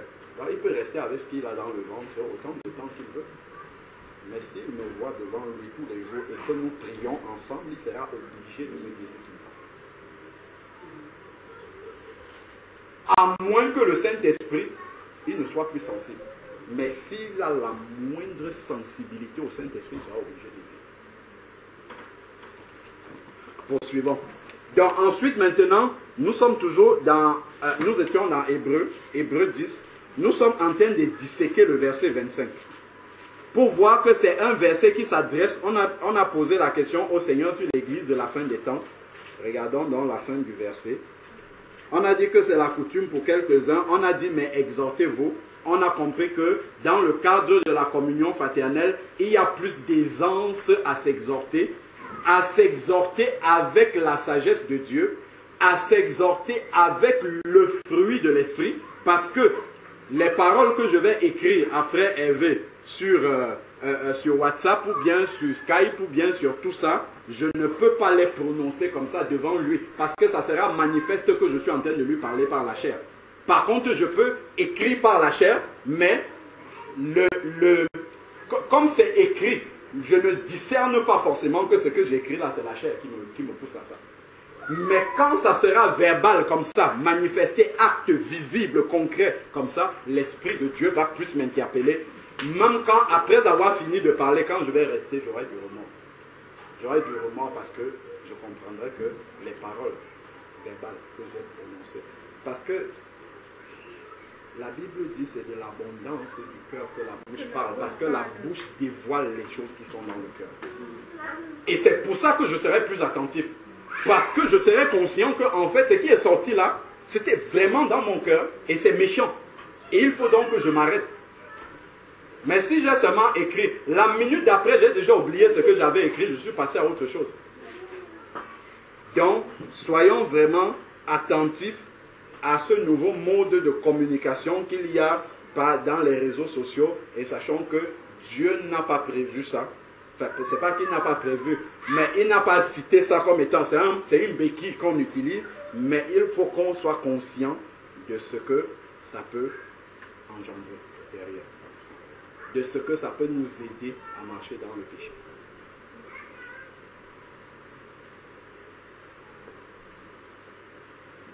Sincèrement, j'aurais plus de facilité à répondre par écrit à quelqu'un qui m'a envoyé quelque chose qui n'est pas gentil. J'aurais plus de facilité à lui écrire ma réponse parce que je ne suis pas content que de le lui dire en face. Et je crois que nous tous, nous sommes comme ça. Et il faut que nous discernions ça.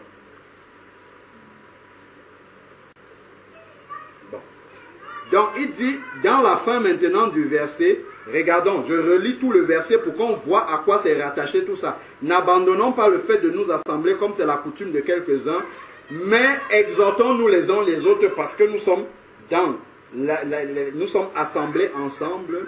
Et il dit, et cela d'autant plus que vous voyez le jour s'approcher par le retour du Seigneur. C'est-à-dire que plus le jour du Seigneur va s'approcher, plus plusieurs tomberont dans la coutume de ne plus s'assembler. Et ça, c'est une œuvre du malin pour les aider. Ne pas vivre la communion fraternelle et à garder cachés les écarts, les considérations, pleines de choses qu'ils peuvent avoir, que peut-être ils ne sont pas sensibles à la voix du Saint-Esprit par rapport à ça, ça va nous garder dans ce confort-là. Mais en fait, nous sommes en train de nous éloigner. Alors que la communion fraternelle nous aurait aidé à voir ces choses-là. Même par le témoignage de quelqu'un que nous entendons. On peut avoir quelque chose que nous entretenons dans notre vie, mais seulement écouter un frère dire, ah oui, vraiment, j'avais fait ça, mais après je me suis rendu compte que non, ça ce n'est pas bien de faire comme ça. Ah, moi aussi je faisais ça. Mais je n'étais pas interpellé. Mais ça, si j'étais resté chez moi, je n'aurais jamais entendu ça. Le Saint-Esprit nous interpelle, mais parfois il peut parler par quelqu'un d'autre également. Donc ensuite, maintenant, d'autant plus que nous voyons le jour arriver. Donc, plus le jour du retour du Seigneur arrive, plus certains vont tomber dans la coutume de ne plus fréquenter la réunion de la communion fraternelle. Soyons-en conscients. C'est annoncé dans la parole de Dieu. Plus le jour va s'approcher, plus le malin va nous rajouter beaucoup de raisons de ne plus nous unir dans la communion fraternelle. Il va nous donner beaucoup d'alibis, il va nous donner beaucoup d'excuses. Soyons sûrs, c'est écrit dans la parole de Dieu. Donc il va nous aider à entrer dans l'accomplissement de ce qui est écrit. La Bible nous dit que ces paroles-là ont été écrites pour notre avertissement. Pour que lorsque nous lisons ça, que notre, notre esprit soit réveillé par rapport à ça.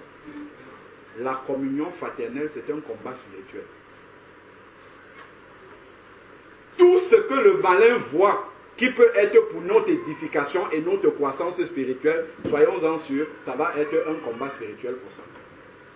Même pour adorer le Seigneur, c'est un combat spirituel, d'abord, avant de pouvoir entrer totalement dans l'esprit et pouvoir adorer véritablement en esprit et en vérité. Donc, revenons dans le fondement de l'Église, dans Acte 2, le Seigneur les a unis dans le même esprit, en passant dans les eaux du baptême, en recevant le Saint-Esprit, unis pour former un seul corps. Tout de suite au verset 42, 1, l'enseignement. Il persévérait dans l'enseignement, il persévérait dans la communion fraternelle. C'est ça qu'on a détaillé, détaillé, détaillé, détaillé. Maintenant, voilà un autre aspect qu'on ne peut pas avoir en dehors de la communion fraternelle, la fraction du pain. La fraction du pain, c'est le repas du Seigneur. Comment vais-je m'asseoir et manger à côté de frère Hervé et prendre la coupe du Seigneur et lui donner alors que j'ai un grief contre lui? Non, je ne pourrais pas le faire. Si l'Esprit de Dieu est en moi, je ne pourrais pas le faire. Je vais le prendre, frère, viens d'abord, on va parler, après on va continuer. Mais si je suis seul de mon côté, ben, je resterai autant que... Voilà des éléments, parce qu'on ne les a pas, qui nous aident à marcher en dehors, en fait. Qui nous aident à entretenir ces racines qui ne sont pas dans le sens de l'unité du Seigneur, que ça reste, à continuer et on avance avec. Manque de communion fraternelle. Forcément, s'il y a manque de communion fraternelle, la suite est implicite. Le repas du Seigneur, si on n'a pas la communion fraternelle, on va pas prendre le repas du Seigneur tout seul. La suite, c'est ça. La fraction du pain. Or, quand on lit dans 1 Corinthiens 11, parler de la fraction du pain, il va dire que chacun s'examine. Je peux m'examiner seul en priant chez moi. Je dis que je n'ai rien contre Hervé. Parce que l'Esprit de Dieu me parle, mais je ne suis pas suffisamment attentif. Quand nous serons assis là sur la même table pour partager le repas du Seigneur et qu'on va me lire 1 Corinthiens 11, prenons 1 Corinthiens chapitre 11. 1 Corinthiens chapitre 11. «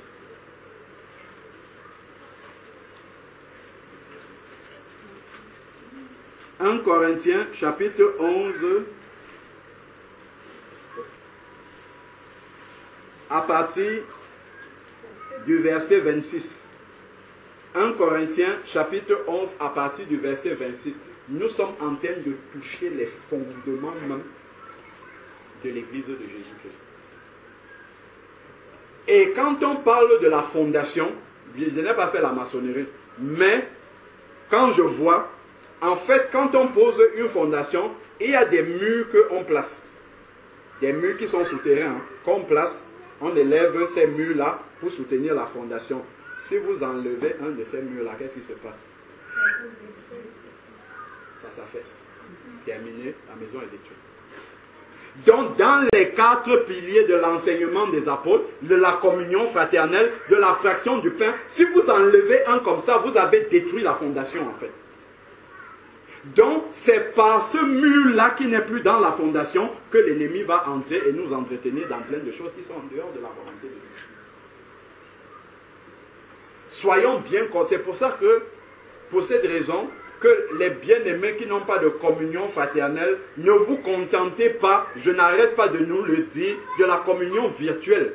Que ça ne soit pas une solution définitive, que ça reste toujours permanent dans notre tête, que c'est une communion temporaire.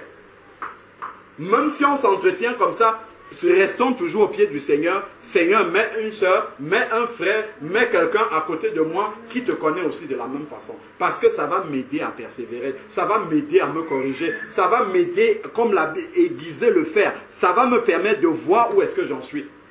Dans la patience. d'en supporter l'autre, dans, toute la manifestation du fruit de l'esprit, il faut qu'il y ait l'autre pour que ça se manifeste.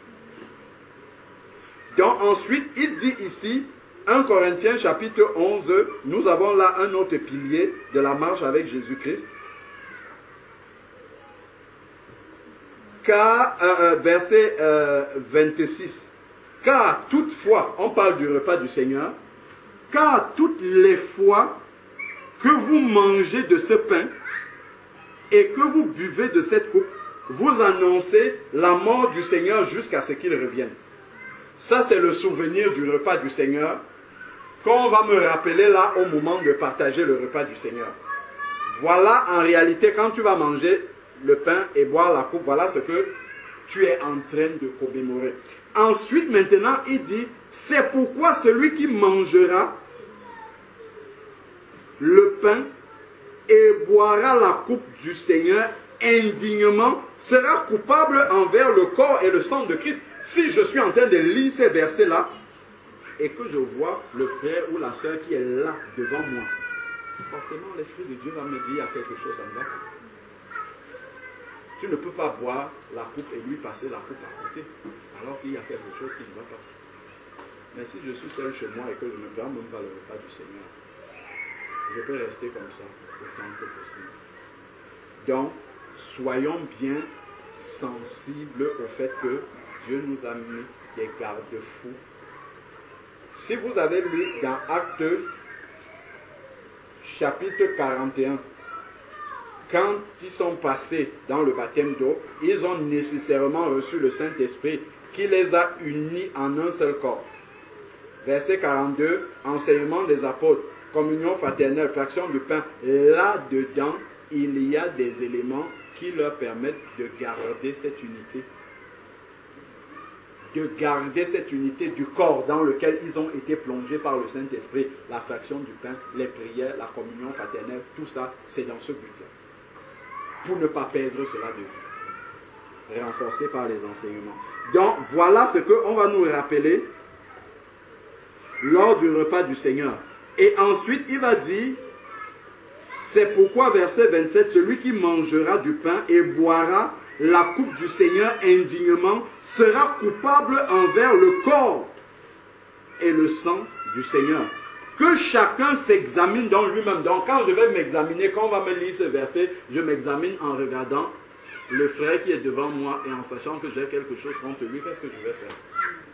Il ne me reste que me lever et de prendre le frère à côté et de régler.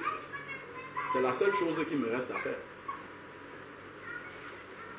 Donc, sachons bien que Dieu a mis tous ces garde-fous-là pour nous aider à lutter contre les caprices de la chair. Car toutefois, toutes les fois que vous mangez ce pain et que vous buvez de cette coupe, vous annoncez, bon, donc, euh, là, on était à la fin, vous serez coupable envers le corps et le sang. Verset 28. Que chacun donc s'examine soi-même, ainsi qu'il mange du pain et qu'il boive la coupe. Car celui qui mange et boit la coupe sans discerner le corps du Seigneur, mange et boit un jugement contre lui. C'est fort quand même ces paroles-là. Quand on nous les lit et nous sommes là, devant la coupe du Seigneur et en face de moi, j'ai mon frère contre qui j'ai un problème.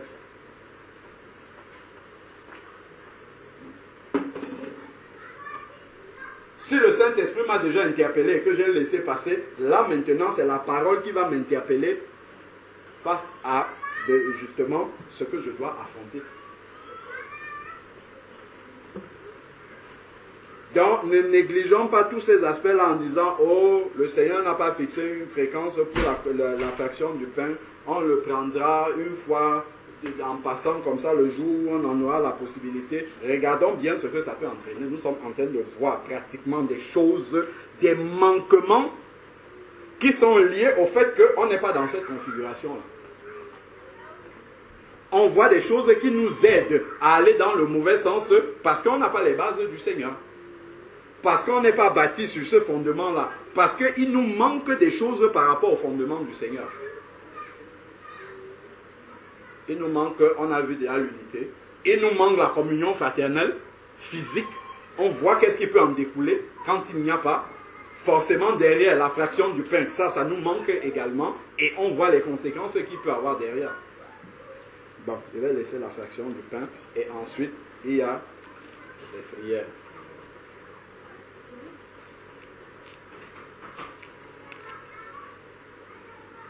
Donc, verset 42, tout de suite, le Seigneur les a amenés dans les piliers de la marche avec Jésus qui leur permettra de pouvoir conserver l'unité du corps dans lequel ils ont été plongés au travers de leur baptême et la réception du Saint-Esprit. Verset 43, acte 2, 43. La crainte s'emparait de chacun. Le fait de persévérer dans la communion fraternelle, dans... mais la crainte ne va pas s'emparer comment Regardons, on est unis là. On est venu pour la, la, la retraite spirituelle et Dieu nous met le point sur quelque chose. Est-ce que ça ne me fait pas, moi ça me fait peur déjà de me dire je ne peux pas me cacher devant Dieu, je ne peux pas esquiver ce qui est là. Quand le Saint-Esprit dit c'est ça, je ne peux pas dire et aller dans un autre chemin. Pas du tout. Je suis obligé. Donc forcément, la crainte va s'emparer. Parce que l'Esprit de Dieu est là. L'Esprit de Dieu agit parce que nos cœurs recherchent au moins individuellement le Seigneur. Ça, effectivement, dans une assemblée où les uns viennent pour leur business, les autres viennent pour, je ne sais pas moi, pour chercher une épouse, l'autre vient pour demander l'enfant et tout ça, ils ne seront pas sensibles à ça, ils viendront, ils feront leur culte et puis ils vont partir. Le Seigneur va dire, je me tiens à la porte et je frappe celui qui entend ma voix. Mais si le Seigneur est dans l'église, ben, forcément, il va parler directement. Il va, nous mettre le point là où il faut. Donc ensuite, maintenant, dans la crainte s'emparait. Quand nous sommes dans la configuration du Seigneur, la crainte, c'est pas la crainte, c'est la crainte de Dieu, en fait. La crainte s'emparait de chacun et il se faisait plusieurs prodiges et des signes par les apôtres. Voilà là où il faut qu'on les miracles. Nous recherchons beaucoup les miracles, mais regardez tout ce que nous avons déjà développé avant d'arriver au miracle.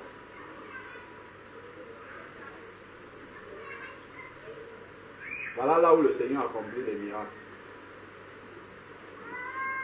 On souligne les miracles. Ah, si tu veux voir les miracles dans l'église et que tu ne vois pas, là, le Seigneur a pointé, il a pointé du doigt beaucoup de causes pour lesquelles on ne voit pas les miracles. Ce n'est pas parce que Dieu a changé. Mais on voit le contexte dans lequel les miracles sont arrivés. On ne nous a pas dit que, oh, dès que l'église est arrivée, les miracles ont commencé. Regardons bien le contexte dans lequel les miracles sont arrivés. Je relis encore le verset. La crainte s'emparait de tous et il se faisait beaucoup de prodiges et de miracles par les apôtres.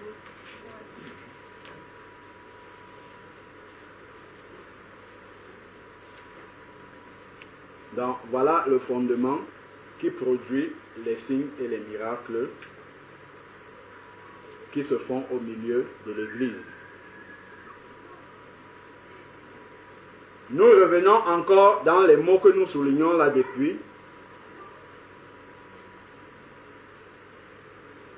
Tous ceux qui avaient cru. Ce n'est pas certains qui avaient cru qui ont commencé à faire ça. La Bible dit tous ceux qui avaient cru étaient ensemble. Ça, c'est ce que nous avons développé déjà avant, hein, en voyant que dès qu'ils sont passés dans les eaux du baptême, Dieu les a unis pour persévérer dans l'enseignement des apôtres, la communion fraternelle. Si on n'a pas bien compris, on nous rappelle encore là que tous ceux qui avaient cru, chacun n'a pas dit, oh bah, moi j'ai cru, c'est bon, moi je m'en vais faire ma route là-bas, l'autre va à gauche, l'autre va à droite, le Seigneur le même pour tout le monde, le Saint-Esprit, Dieu me conduit. On- non, ils étaient tous ensemble. Ça, c'est ce que le Saint-Esprit a fait dès le début. Tous ceux qui avaient cru, naturellement, étaient attirés à demeurer avec ceux qui avaient cru comme eux. Tous ceux qui avaient cru étaient ensemble et avaient tout en commun. Ils étaient d'abord ensemble pour que le tout en commun vienne. Je ne peux pas rester chez moi. Je fais un mois sans voir la sœur Claire et avoir tout en commun avec elle. Comment on fait? Ne serait-ce que pour les courses. Si je fais les courses et que je veux avoir tout en commun avec ma soeur, si je la vois une fois par mois, ben, comment je vais, comment la pensée même d'avoir tout en commun va venir? Elle ne viendra même pas. C'est le fait d'être à son contact tous les jours, de voir que mon superflu peut servir pour elle et tout, que finalement, naturellement, l'amour va pousser à ce que le tout en commun vienne. Mais nous, on va vouloir être dans une autre configuration, mais vouloir les miracles, vouloir le tout en commun, et puis on ne voit pas. Mais si on ne voit pas ça, creusons bien pour regarder comment ça a commencé, et là, on verra, là où il y a des points qui nous manquent, en fait. Et si vraiment on veut voir ces miracles-là, c'est difficile, mais ce sont ces points-là qu'il faut travailler. Il faut qu'on travaille ces points-là, et en travaillant ces points-là, Dieu ne pourra que venir pour bénir. Parce que si Dieu bénit malgré tout ça, en fait, qu'est-ce qu'il fera? Il ne fera que nous aider à marcher toujours d'une manière qui ne glorifie pas. Mais Dieu ne le fait pas parce qu'il ne nous aime pas, mais il veut nous aider à entrer dans sa pleine volonté et ensuite se glorifier au travers de chacun d'entre nous. Donc ensuite, il dit ici, bon, comme ils avaient tout en commun, ils vendaient leurs biens et leurs possessions et ils en partageaient le produit entre tous selon les besoins de chacun. Est-ce qu'on a vu un ordre qu'on a donné à quelqu'un là? On n'a pas donné d'ordre. Parce que le, le fait d'être dans la communion fraternelle ensemble a poussé ces choses-là naturellement. Ils, étaient tellement proches les uns des autres que quand on dit porter les fardeaux, en fait, nous on va dire ça comme ça, c'est théorique, mais pour eux c'était naturel en fait. C'est venu naturellement par le fait qu'ils ils- ils étaient ensemble tous les jours et, ainsi de suite. Et ces affinités-là se sont créées. Ces affinités qui ont été euh, consolidées par le Saint-Esprit et poussées à devenir sensibles aux besoins de l'autre. Sinon, je vais porter les besoins des autres comme un fardeau pour moi. Ah, on a dit qu'il faut que j'assiste mon frère. On a dit qu'il faut. Donc, je vais faire cela avec beaucoup de lourdeur, comme un devoir, en fait. Comme un fardeau que je porte. Mais si je suis avec mon frère Nicanor régulièrement et tout, je saurai le type de difficulté qu'il a. Et ça va me pousser à plus de sensibilité véritablement à porter son fardeau. Donc la communion fraternelle va aider à beaucoup, beaucoup, beaucoup de choses qui vont nous conduire à marcher dans la pleine volonté de Dieu. Donc, ils vendaient leurs possessions, tout ça. Bon, ensuite, maintenant, continuons le verset 46. En fait, à la base, c'est le verset 46 que je voulais simplement lire et l'Esprit de Dieu m'a amené dans tout ce que nous avons dit là. C'était un seul verset que je voulais lire après la question du frère Georges. Je ne sais pas, ça fait presque 1h42 que je parle. Chaque jour, verset 46, c'est là que nous devions arriver. Chaque, on nous a déjà dit en haut au verset 42 qu'il persévérait dans la communion fraternelle. Verset 46 revient encore dessus. Chaque jour, avec persévérance, ils étaient au temple. Avec persévérance. Donc, malgré les combats qu'il y avait à se retrouver ensemble, ils étaient chaque jour avec persévérance, ils étaient au temple, pas chacun allant de son côté d'un commun accord. Ma soeur, comme tu soulignes, soulignes encore ça, d'un commun accord. Donc, ils se sont assis. D'ailleurs, la suite du verset va nous, va nous le dire. Je vais même d'abord lire la suite avant de, de parler. D'un commun accord, ils rompaient le pain dans les maisons. On a parlé de la fraction du pain. Donc, les différends qu'ils pouvaient avoir entre les uns et les autres, forcément, étaient résolus dans la, rupture du pain. On ne pouvait pas laisser, le Saint-Esprit ne pouvait pas laisser quelque chose sortir de là. C'était réglé là, là, là, avec la fraction du pain. Et ils pouvaient être d'un commun accord et disaient, allons au temple pour évangéliser. Et ils y allaient.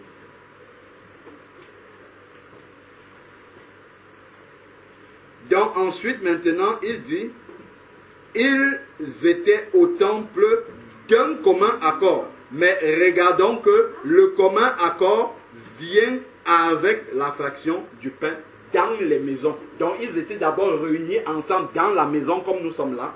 Ils rompaient le pain, donc il y avait correction sur ce qui est péché, ainsi de suite. Et maintenant, ils pouvaient s'entendre et sortir mener une action commune sur le terrain. Aller évangéliser au temple.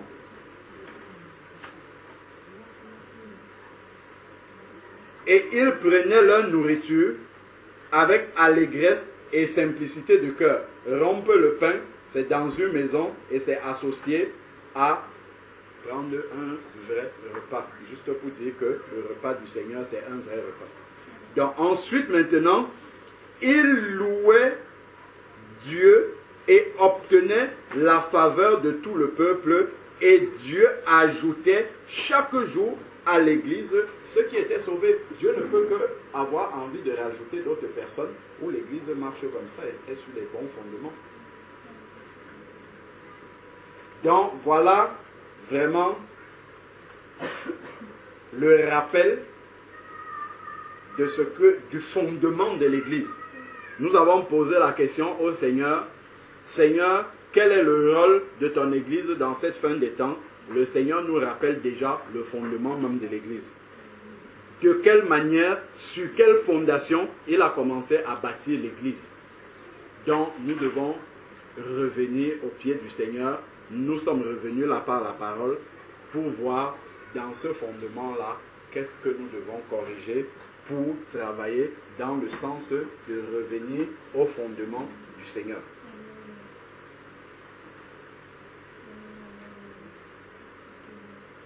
Dans ça, nous pouvons déjà